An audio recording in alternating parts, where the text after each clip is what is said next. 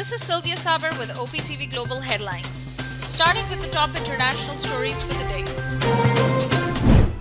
United Nations experts has urged US to finally close the site of unrelenting human rights violations, Guantanamo Bay. More than a dozen independent human rights experts voiced outrage that detention center run by the US Navy is a site of unparalleled notoriety and a stain on Washington's stated commitment to the rule of law. The US Secret Service arrested a 72 year old man in the New York after he allegedly threatened to kill ex President Donald Trump. Welnicki is also accused of threatening to kill Trump as well as 12 unnamed members of the Congress. Arctic air blast brings wind chill warnings to 12 northern states of USA. Arctic air blasting across the northern tier of the United States has gripped parts of the high plains, the upper Midwest, and New England. Pakistan has finalized $63 million education package for Afghan students. Package includes free training with stipends for thousands of Afghan nationals. Pakistan also plans to establish a university campus in Kabul. Mortar shell blast kills nine children in Afghanistan's Nangarhar. A junkman was playing with the unexploded mortar shell when it went off in the Lalpur district.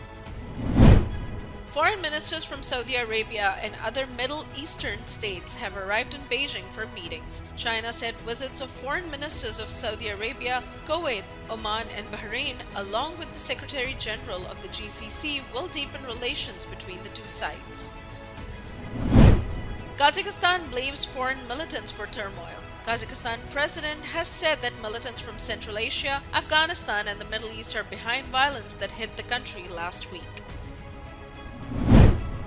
A 6.6 magnitude quake has hit off the west coast of Cyprus. There are no immediate reports of casualties or damage. The tremor was felt across Cyprus as far away as Turkey, Israel, Egypt, and Lebanon. Up next, we have the national updates. Chief of Army Staff General Qamar Javed Bajwa discussed the matters related to mutual interest, Saudi Arabia's military advisor to Minister of Defense. Army Chief stressed the urgent need to channel humanitarian assistance to Afghanistan. Prime Minister Imran Khan has slammed the Narendra Modi-led Indian government for its continued silence on the hate speech conclave. Prime Minister also called on international community to take action against extremist Modi government in India. The Islamabad High Court has disposed of pleas seeking Prime Minister Imran Khan disqualification. The applicant named Fidaullah moved IHC to declare Imran Khan disqualified over his statement that 16 MNAs sold their votes in the Senate elections. Jamaat Islami Karachi chief has announced that the sit-in and talks will be continued side by side until their demands have been met by the Sindh government. He said JI will prefer meaningful dialogues over the controversial local government law. Death row inmate Shahrukh Jatoi is once again shifted to the central jail. The action took after the report of Jatoi enjoying lavish perks in a private hospital for several months in Karachi. Balochistan Chief Minister Mir Abdul Qudus Bizenjo said that details with facts about Reko-Diq copper and gold mining project would be disclosed soon. He added that for the first time a detailed briefing about Reko-Diq project was conducted for the elected representatives of Balochistan. A delegation of stars belonging to Indian film Chal Mera Put visited the Gurdwara Darbar Sahib Kartarpur in Pakistan. The Indian film stars expressed joy at seeing the corridor project and termed it a means of bringing prosperity about in both the countries. 18 people died and 46 were injured in a rain-related incident in Khyber Pakhtunkhwa. Over 109 houses damaged in different districts of the province. Relief items were distributed among affectees in Charsadda, Karak, Khyber, Mohmand, Naushera, and Upper Dir. Equal justice under law. We haven't yet lived up to that promise, marginalized communities across our nation. I'm Faisal Gill. I saw how the color of your skin, so I went to law school because I wanted to fight to make the law work for all, because I wanted to give back, because black lives matter, because we need to incarcerate less and educate more, deserves justice.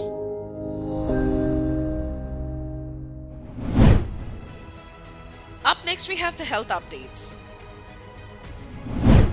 A Pakistani doctor in the United States have transplanted a pig heart into a human to save his life. Maryland Hospital said that he's doing well three days after the highly experimental surgery. COVID 19 hospitalizations in the United States reached a record high. There were 132,646 people hospitalized with COVID. Delaware, Illinois, Maine, Maryland, Missouri, Ohio, Pennsylvania, Puerto Rico, the U.S. Virgin Islands, Vermont, Virginia, Washington, D.C., and Wisconsin have reported record levels of hospitalized. Next, we have the updates on science and technology. China has commissioned its first nuclear powered artificial sun. The China National Nuclear Corporation said that HL2M tokamak artificial sun uses a powerful magnetic field to fuse hot plasma. It can reach temperatures of over 150 million degrees Celsius. Up next, we have the sports updates. The legendary cricketer Inzamam ul Haq has been appointed for the 7th edition of Peshawar Zalmi in Pakistan Super League. Peshawar Zalmi also released their kit for 7th edition PSL. World number 1 Novak Djokovic has won a stunning victory over the Australian government, overturns the cancellation of the tennis star's visa on COVID-19 health grounds and ending his detention. Up next we have the entertainment updates. South Korean actor Oh Young-soo won the country's first Golden Globe Award for his role in Netflix hit Squid Game. He won Best Supporting Actor in Television for his portrayal of the host or player 001. The Bollywood superstar Sanju Baba is planning to surprise his fans with the release of his three movies in the year 2022. His three movies, Shamshera, KGF 2 and Prithvi Raj will hit the screen this year.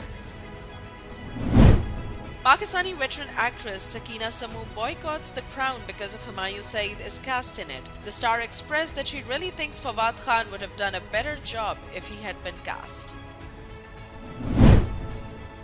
Up next, we have the business updates.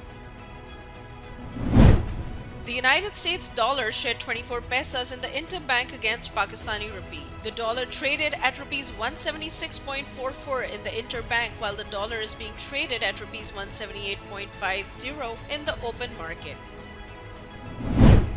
Ferrari's new chief executive has unveiled a new organization changes aimed at sharpening its technology focus. New CEO took the role with the task to drive Ferrari into the new era of cleaner, silent and interconnected mobility.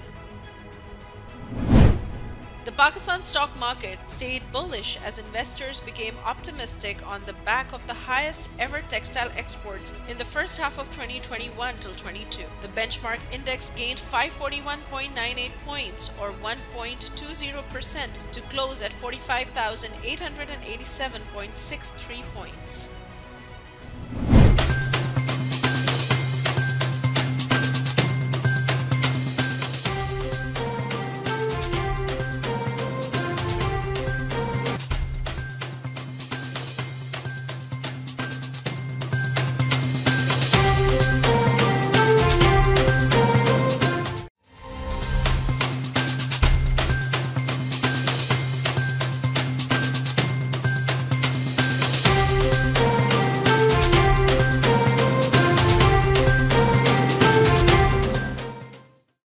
Equal justice under law. We haven't yet lived up to that promise marginalized communities across our nation. I'm Faisal Gill. I saw how the color of your skin, so I went to law school because I wanted to fight to make the law work for all, because I wanted to give back, because black lives matter, because we need to incarcerate less and educate more deserves justice.